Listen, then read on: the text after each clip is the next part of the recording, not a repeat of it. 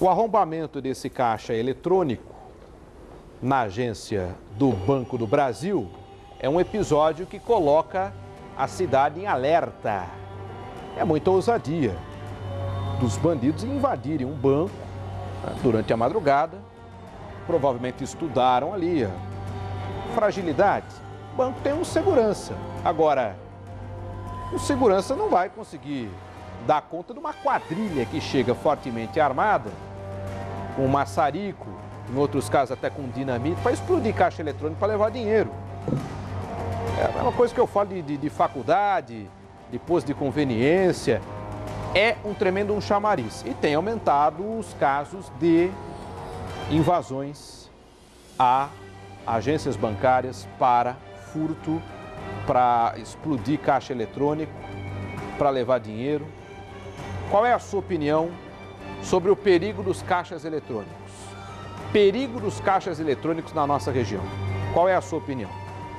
Fale comigo aqui, o telefone está aberto e vamos voltar à agência bancária no flagrante da madrugada. O nosso repórter cinematográfico Marconi Marques trazendo as informações em cima do fato. Colocaram alguma cabana para que o fogo não, não chamasse atenção, faísca, essas coisas, não chamasse atenção do pessoal aqui fora. É, lá tem alguns é, plásticos, né? É, aquelas. Aquelas pode-se dizer, é plástico, plástico preto, para que não, do lado de fora não perceba aí faísca, algum tipo de, de coisa aí que se acenda aí com as luzes apagadas e se passar alguém perceber alguma coisa. Que está uma onda de, de, de, de, de roubo, furto em caixa eletrônico, Limeira estava fora disso.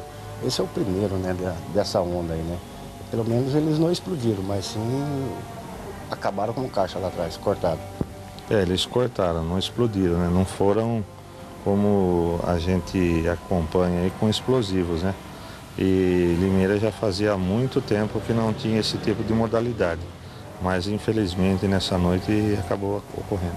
Aqui na Boa Vista, esse banco ele, ele fica numa área né, afastada do centro, pouca residência aqui é perto, rua escura, né, o sargento? É do jeito que eles preferem, né?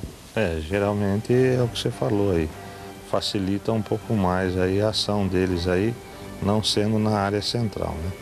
Você também né, provavelmente teve um descuido do, do, do agente que veio fechar aqui, né, o, o sargento? Que ele deu uma bobeada e os caras aproveitaram.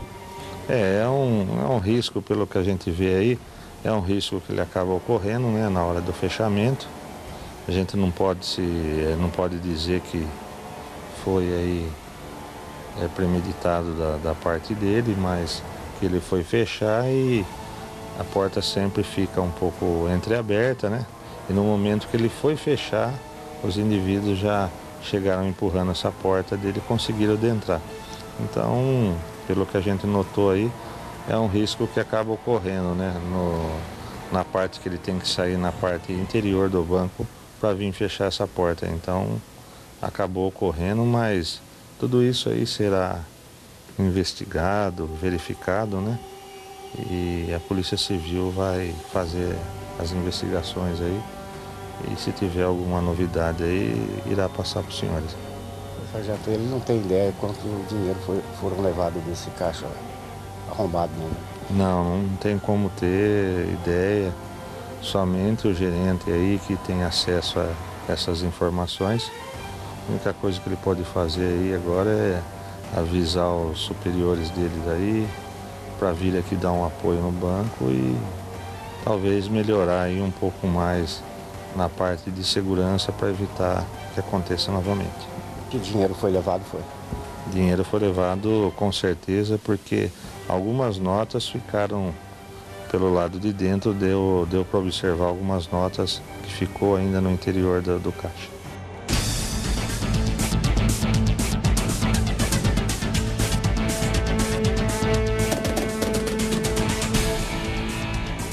Alô, Sargento Jorge Luiz. Ainda ficou uma graninha lá, né, Sargento? Ainda sobrou uns trezentinhos lá. Ficaram umas notinhas, o Marconi fez a imagem das notas de 100 reais que acabaram ficando após a fuga desta quadrilha que invadiu a agência do Banco do Brasil no bairro Boa Vista. Alô, moradores aí da Boa Vista.